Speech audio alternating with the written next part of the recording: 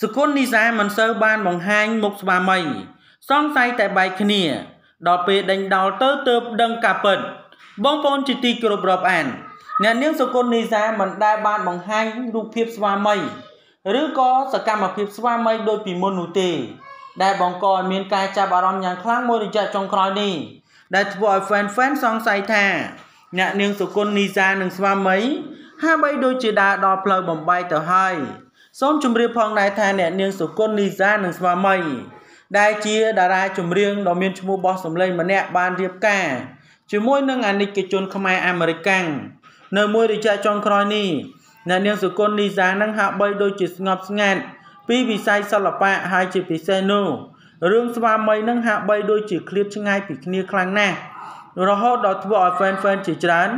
ទុះនៅការចាប់អារម្មណ៍ស្ទើរតែនឹកស្មានមិនដល់ដូច្នោះកុំឲ្យប្រិយមិត្តរបស់យើងរងចាំយូរ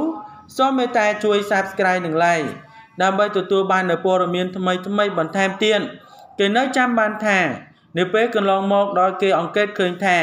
អ្នកនាងសុគន្ធនីសាកម្រនឹងបង្ហោះរូបភាពបង្ហាញភាពផ្អែមល្ហែមដូចពីមុនដោយស្វាមីណាក៏មានចម្ងល់ជាច្រើនជុំវិញរឿងហេតុនេះ រហូតដល់មានអ្នកខ្លះគិតថាប្រហែលជារូបនាង បានបែកបាក់ជាមួយនឹងស្វាមីហើយទេដឹង បែរជាមិនដែលឃើញបង្ហោះរូបសកម្មភាពបែបនេះដើម្បីជំនះនៅមន្ទិលជុំវិញរឿងនេះនៅពេលកន្លងមកតារាចម្រៀងរៀងតូចច្រឡឹងគួរឲ្យស្រឡាញ់រូបនេះក៏បានធ្វើការបង្ហោះនៅរូបមួយសន្លឹកជាមួយនឹងស្វាមីអមដោយប្រយោគបែបនេះថា boyfriend ទំនើងអូខេគ្រប់គ្នា តែងតែសួរមិនបានមិនឃើញផុសរូបជាមួយនឹងស្វាមីម្នាក់ប្រុសនេះឥឡូវនេះជួនតាមសំណុំពោចាស់តាមរយៈសារនឹងលើកឡើងនៅរូបភាពនេះក៏បានបញ្ជាក់ឲ្យឃើញថាអ្នកនាងសុគន្ធនីសាពុំបានបែកបាក់ស្នេហាដោយការសង្ស័យរបស់បងប្អូនមហាជនឡើយហើយឃើញរូបនេះហើយមានអ្នកខ្លះគេនៅលើកជាចងល់ថាមិនដែលឃើញស្វីតសោះជាការឆ្លើយតបជាមួយនឹងការលើកឡើង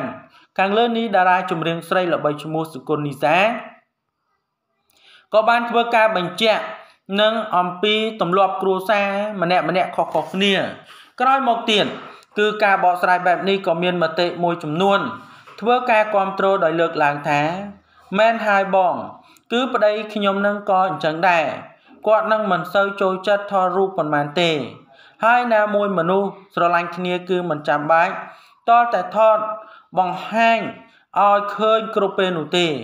គឺមិនអន់ទេបង ហើយខ្ញុំនឹងយល់ស្របបងសូម្បីតែខ្ញុំក៏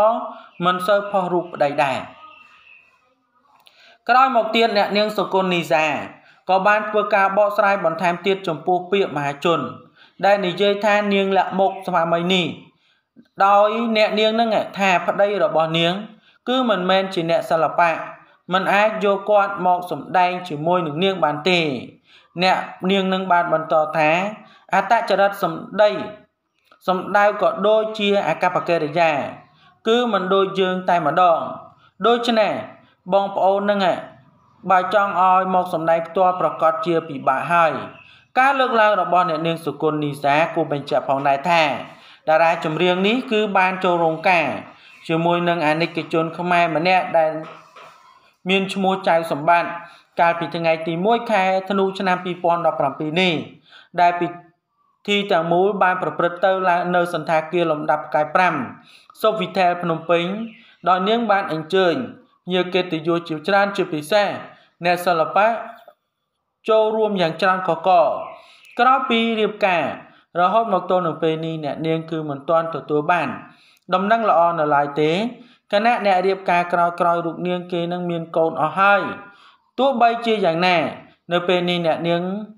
គឺបានទៅសហរដ្ឋអាមេរិកជាមួយនឹងស្វាមីហើយក៏សង្ឃឹមថាពួកគេនឹងមានដំណឹងល្អដូចអ្នកសិល្បៈក្រោយក្រោយដែរពីព្រោះថារហូតមកទល់នឹងពេលនេះសកុននីសានឹងមិនទាន់មានកូនមានអីឲ្យគួរឲ្យចាប់អារម្មណ៍នៅឡើយ